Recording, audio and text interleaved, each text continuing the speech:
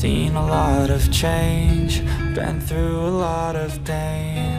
Some things are not the same as they were a year ago. But all will be okay.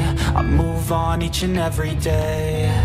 The past is where it stays, way back a year ago. I've changed for the better this time. I thought I would never be fine. I strive just to say I'm alright. And for the first time in a long time, I'm alright. I've seen a lot of change, been through a lot of pain. Some things are not the same as they were a year ago. But all will be okay. I move on each and every day. Past is where it stays, way back a year ago.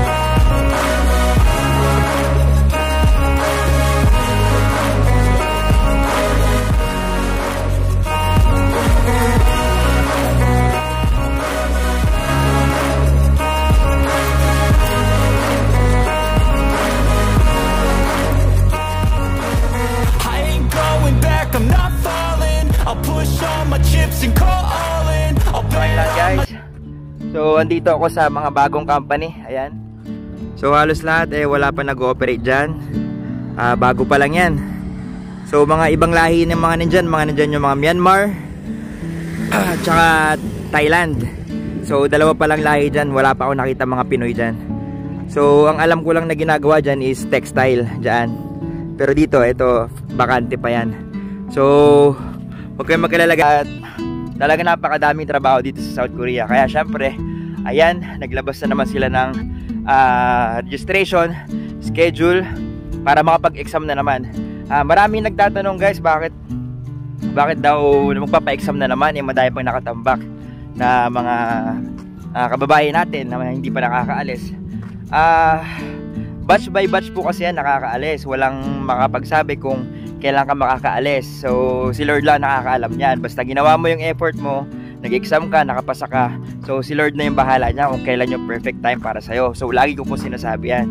So, doon po sa mga wala pong idea, kahapon po ay naglabas na po ng schedule yung ah, HRD.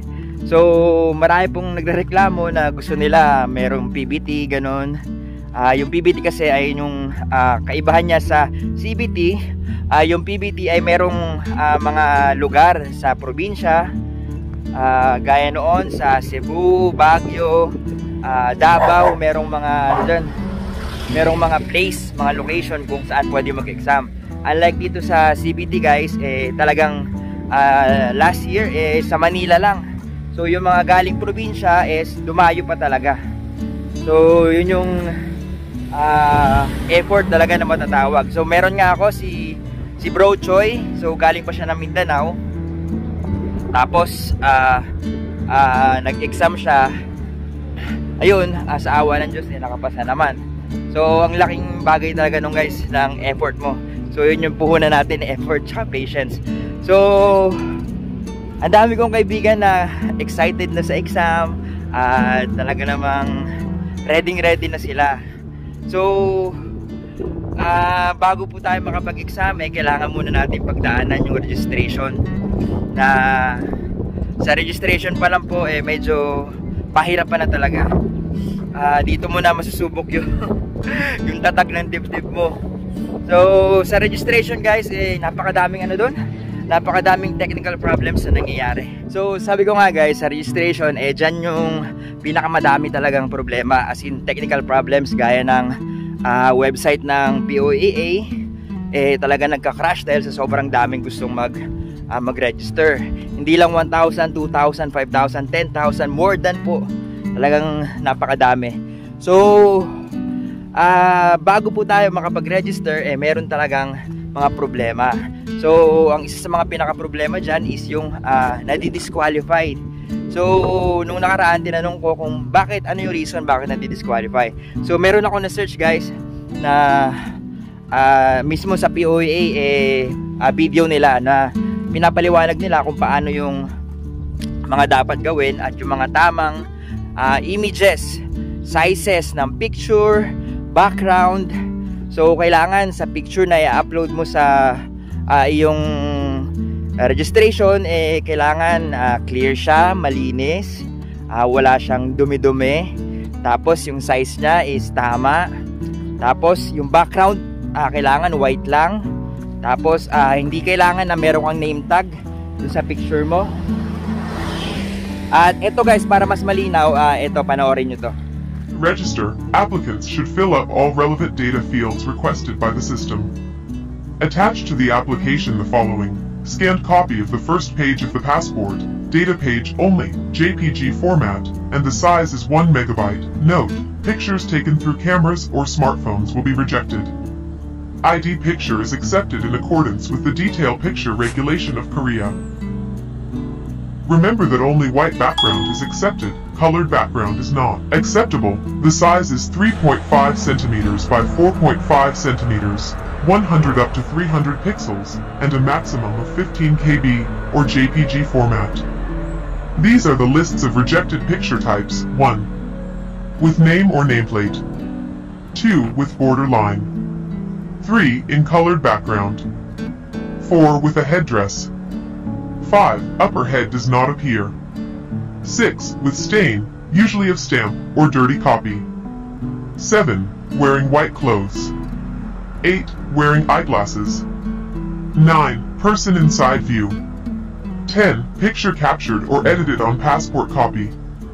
Ensure correctness and completeness of the information provided. There are additional reminders too. Remember that no editing of encoded data will be entertained after submission. Always visit the POEA website to be updated. When registering online, prepare your scanned copy of your passport and picture and exam fee and registration fee. Make sure the scanned documents are properly scanned and each of them must not be blurred. These are some of the reasons why the application is not accepted or entries are rejected. There are also important reminders that you need to remember, the grounds for disqualification in the registration. 1. Submission of false information and fake documents. 2. Double registration using different credentials. 3. Incorrect or wrong encoding of information or data. The online registration shall be open to all interested applicants, preferably males, because most of the jobs are described as 3Ds which means dirty, difficult, dangerous. If you have successfully registered, wait for the schedule of the exam. So yun nga guys, so kung napanood nyo eh sabi doon kailangan talagang uh, totoo lahat ng information na nilagay mo. At uh, hindi ka dapat nagsisinungaling doon kasi hindi natin alam kung paano nila i-review yun. Pero dapat totoo yung mga ilalagay mo doon. So dapat walang problema. So uh, sa pagsunod niyan makikita mo na kagad na talaga namang uh, worth it kapag ikaw ay nakapag-register. So yun guys uh, mukhang mahirap. Ah uh, uh, mukhang mahirap pero patas lang dahil lahat naman pare-pares kayo na pagdadaanan at yun na nga guys uh, kaka-announce lang ng uh, ah, HRD ay first 10,000 lang na registrant yung kukunin nila. Okay? First 10,000 lang. So nagbigay ang HRD POAA ng 3 uh, days June 8 hanggang 10 sa registrations So, nung past, uh, nung mga previous years guys, yung 10,000 guys, isang araw lang yan, puno yan. Ganong kabilis, ganong kadami. So, yung pagre-register guys is labanan ng pabilisan. So, ako guys, may share ko lang experience ko nung kami nung nag-register ay madaling araw pa lang. Pumunta na kami ng school kasi yung school namin sa HTC, sa General Trias yan. So, pumila kami na napakahaba dahil wala pa kaming idea kung paano mag-register. So, ginaid kami na school namin. So, sa mga schools nyo, pwede rin yan, magpatulong din kayo at sigurado i-guide din nila kayo. So, madaling araw pa lang, pumila na kami. Ang haba na pila, ang dami, sobra. Nakakamiss nga yung ganong experience eh. Siyempre, uh, iising na maaga, may pila na maaga, tapos pagdating mo dun, ang haba na talaga ng pila. So, yun nga guys. uh, nakapag-register kami so tama naman lahat at uh, dumating na guys yung ano mag-register. Yung nangyari sa akin, share ko lang.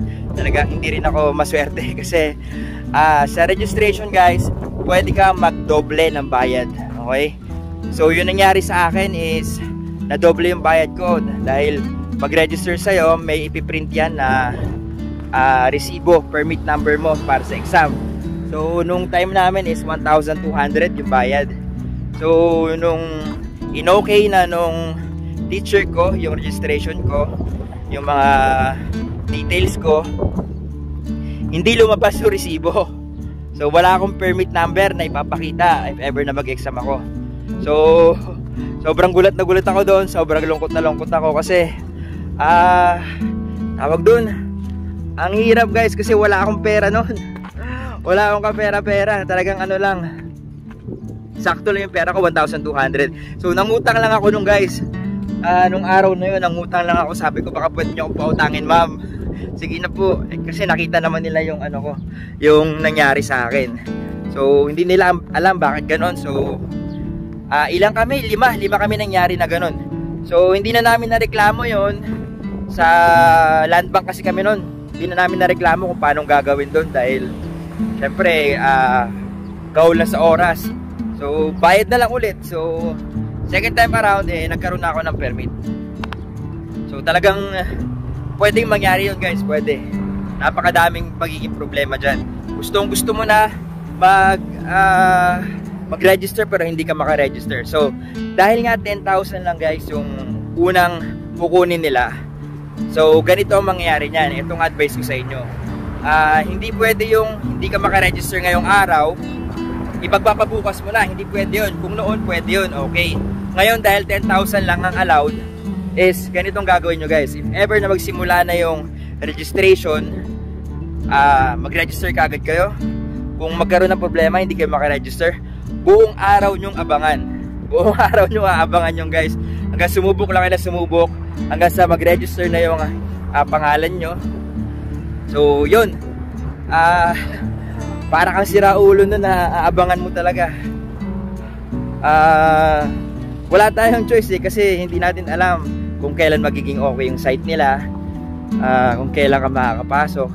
So kailangan mo subukan na subukan guys kasi dahil nga 10,000 lang isipin mo yun sa dami ng gustong ah, mag-exam, mag-register more than 50,000 yan ng mga Pilipino ang dami or higit pa tapos 10,000 lang yung uh, i-allow nila So, wala tayong choice kundi sumunod. So, yun guys, uh, good luck sa inyo at di man natin ma-replyin lahat, eh talagang abang-abang lang at dito na lang tayo magpo-post para naman uh, masagot maski pa paano yung mga tanong nyo. So, yung mga hindi prepare guys, uh, mag-exam kayo kahit na hindi kayo prepared. Yung mga kaibigan naman natin na uh, hindi umabot yung passport nila, eh talagang ganun uh, minsan talaga meron tayong mga bagay sa buhay natin na hindi natin may paliwanag. Pero soon, malalaman natin kung bakit nangyari yon. Hindi ka man makapag-exam ngayon, eh, uh, mas better pala next time, mas makakapasa ka. So, ganun na lang guys. Maraming salamat at naglalakad-lakad lang ako ngayon para naman makapag-update tayo sa inyo. Maraming salamat guys. 10,000 lang kaya dapat mauna kayo ha. At yun, kita-kits tayo. FC Family, good luck. Maraming salamat.